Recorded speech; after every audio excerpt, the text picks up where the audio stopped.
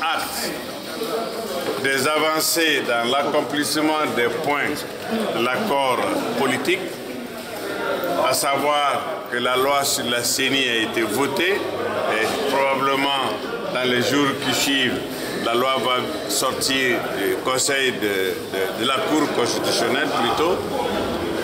Il y a eu des provisions pour les indemnisations.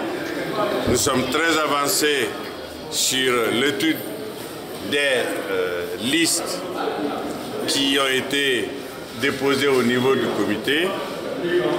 Nous prenons acte des accords signés entre l'opposition républicaine et la mouvance sur le contentieux euh, électoral qui est donc terminé.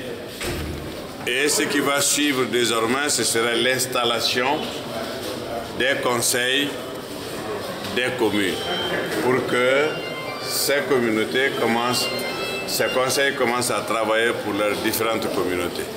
voilà aujourd'hui, dès, dès cette semaine. Il revient désormais au ministre de l'administration du territoire qui n'a plus absolument aucun handicap qui puisse l'empêcher d'installer ses communes.